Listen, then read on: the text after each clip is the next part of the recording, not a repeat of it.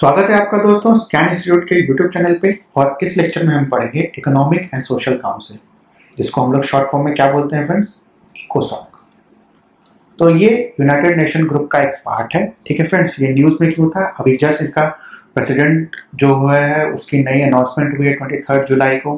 फिर हमारे prime minister ने यहाँ पे एक स्पीच दिया है, ठीक है? तो ये बॉडी न्यूज़ में था, इसीलिए हम इस चीज़ को पढ़ेंगे, ठीक है? इसके एम्स क्या है? इंडिया इसका मेंबर क्या, कब बना था, ठीक है? कौन कौन से रीजन का रिप्रेजेंटेशन होता है, कितने सीट्स हैं, ये हम इस लेक्चर में देखेंगे फ्रेंड्स ठीक है? तो रिसेंटली इनका एक डायलॉग सबमिट हुआ था multilateralism after COVID 19 what kind of event do we need at 75th anniversary ठीक है? और प्राइम मिनिस्टर ऑफ़ इंडिया जैसे मैंने आपको बोली हुई इन्होंने स्पीच दिया था regarding India battle against COVID 19 and emphasise the need of multilateralism ठीक है? यूनिलैटरलिज्म नहीं मल्टीलैटरलिज्म जहाँ पे एक consensus based consensus based decision making process होता है, जहाँ की बहुत सारे कंट्रीज़ पार्टिसिपेट करते हैं और एक थोरो डिस्कशन होता है और आंसर लेके। और उसका हम लोग ये कंसेंसस के बेसिस पे कुछ पॉजिटिव रिजल्ट्स लेके आते हैं, ठीक है? एक होता है यूनिलैटरलिज्म यूनिलैटरलिज्म मतलब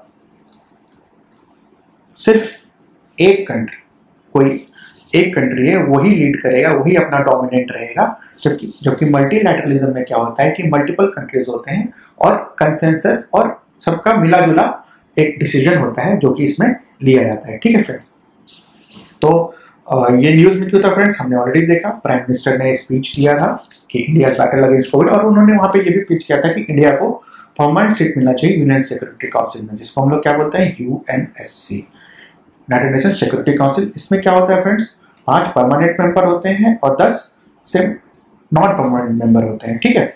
और ये दस नॉन परमानेंट मेंबर का टर्म कितना होता है फ्रेंड टू ईयर्स और इंडिया इसमें भी अभी recently as a non permanent member select हुआ है फ्रेंड्स इन यूएनएससी ठीक है? इंडिया क्या डिमांड करता है कि इसको भी परमानेंट मेंबर का सीट मिलना चाहिए। और फ़िलहाल परमानेंट मेंबर कौन कौन है friends US UK France US UK France China और रशिया और इनके पास क्या होता है फ्रेंड्स वीटो पावर तो यूएनएससी के बारे में जो चीज़ें हैं, हमने यहाँ पे देखी. फाइनली वापस टॉपिक पे आते हैं इकोसॉक तो इकोसॉक में मेंबर्स कितने होते हैं? 54 मेंबर्स होते हैं. कौन कौन से रीजन को रिप्रेजेंट करते हैं friends African region Asian region Eastern European region Latin America और कैरिबियन और Western European and other states ठीक है फ्रेंड्स तो इंडिया का सिलेक्शन किसके अंदर हुआ है फ्रेंड्स एज पर इंडिया किसके अंदर अभी इसका मेंबर है? इन द एशियन ग्रुप ठीक है? इंडिया अभी जस्ट इसका मेंबर है, कब से है? 2017 से है और तीन, चूँकि तीन ईयर टर्म होता है किसी भी मेंबर का तो इसका जो मेंबरशिप है थर्टी फ़र्स्ट दिसंबर 2020 को खत्म हो जाएगा फ्रेंड्स ठीक है? तो आपको ध्यान रखना है इंडिया अभी इसका मेंबर है, इसकी मेंबरशिप थर्टी फ़र्स्ट दिसंबर 2020 को खत्म हो जाएगी फ्रेंड्स और रिसेंटली इसके नया प्रेसिडेंट इलेक्ट हुए हैं, इसका नाम है मुनीर अकरम और ये कहाँ के हैं फ्रेंड्स पाकिस्तान के। ठीक है? तो आपको प्रेसिडेंट के बारे में पूछा जाता है which of the following is the president of economic and social council ठीक है? तो आपको क्या बोलना है? मुनीर अकरम। तो ये ध्यान में रखिएगा, ये दो चीज़ें। India is still a member and who is the new president Munir Akram. ठीक है? एक चीज़ और जो आपको ध्यान रखनी है economic and social economic and social council में, नाम तो हालाँकि इकोनॉमिक एंड सोशल काउंसिल है।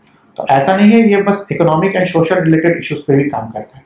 इसमें एक इन्वायरमेंटल इश्यूज़ भी आते हैं। ये इन्वायरमेंटल इशू के डायमेंशन में भी काम करता है। उसमें कोऑर्डिनेट करता है पॉलिसी रिव्यू करता है पॉलिसी डायलॉग होते हैं, अपने रिकमेंडेशन देता है और इन्वायरमेंट से रिलेटेड इंप्लीमेंट करवाता है इंटरनेशनली अग्रीड डेवलपमेंट गोल्स ठीक है फ्रेंड्स तो ये ध्यान रखिएगा। ये तीन चीज़ें बहुत इंपॉर्टेंट है। इकोनॉमिक एंड सोशल काउंसिल वाले इस लेक्चर में।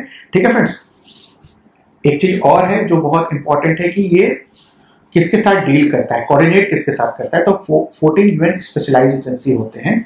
वो कौन से होते हैं, उसको हम डील करेंगे सेपरेटली यूएन के ऊपर जब हम आपके लिए लेक्चर बनाएँगे उसमें, ठीक है? उनमें से कुछ कुछ एजेंसीज यहाँ पे दे रखी हैं। कौन कौन से हैं? International level organization food and agriculture organization UNESCO world health organization world bank UNICEF ठीक है? तो इन सब के साथ ये कोऑर्डिनेट करता है कि अपने प्रोग्राम को कैसे इंप्लीमेंट कराना है क्या पॉलिसी होनी चाहिए, कैसे क्या होना चाहिए तो ये सब चीज़ें कोऑर्डिनेट करता है। ठीक है फ्रेंड्स तो basically economic and social council में आपको याद करना, रखना है फ्रेंड्स तीन चीज़ें, इसका प्रेसिडेंट जो अभी आया है, मुनीर अकरम।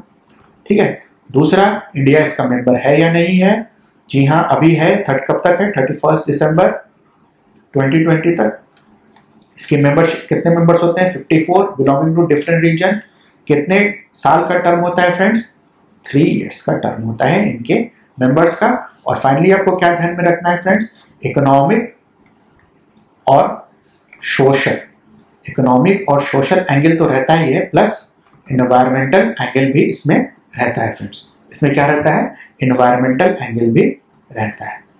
तो ये ध्यान में रखिएगा। एक लाइन दे दे it does not deal with environmental policies तो वो स्टेटमेंट आपका गलत हो जाएगा फ्रेंड्स ये ध्यान रखिएगा। अगर ये लेक्चर आपको पसंद आया हो तो हमें लाइक शेयर और सब्सक्राइब करें और हमारे यूट्यूब चैनल स्कैम इंस्टीट्यूट के साथ जुड़े रहें। Thank you